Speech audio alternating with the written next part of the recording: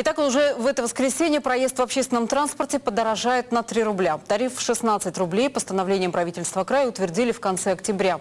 Через два дня оно вступает в силу. Как готовятся к переменам перевозчики и пассажиры в сюжете Дениса Новожилова. 13. Так, будет 16, это еще 3.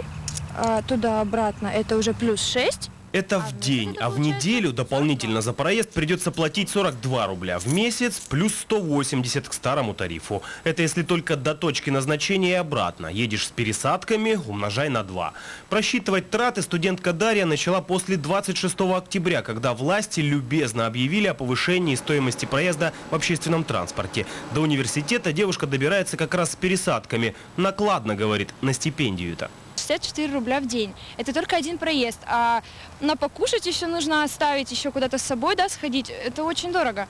И я не знаю, как-то тяжело с этим будет справляться. Наклейка непосредственно будет а, перед входом.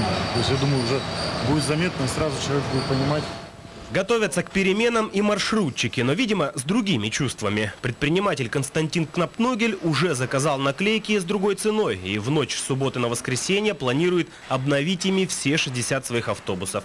И перед входом, и в салонах. Перевозчик уверен, не рост бы цен на топливо, ездили бы по-старому. Мы еще не успели а, выехать по новому тарифу, то есть по увеличить тариф на 3 рубля, то заправки уже начали менять цены, и некоторые заправки уже поменяли стоимость топлива на 3 рубля. Такое ощущение складывается, что нам добавили 3 рубля, то есть они переложили 3 рубля а, в свой карман и решили, что им это нужнее. В среднем заказчики заказывают от 100 тысяч до 1 миллиона. Этой продукции хватает где-то на неделю-месяц.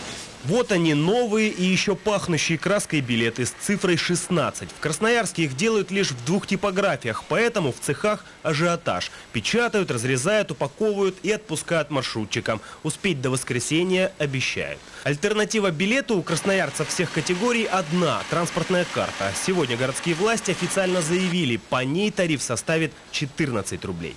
Для этого э, были проведены переговоры со всеми перевозчиками, которые у нас работают э, на территории города Красноярска. Со всеми были достигнуты договоренности о том, что скидка по транспортной карте будет составлять 2 рубля.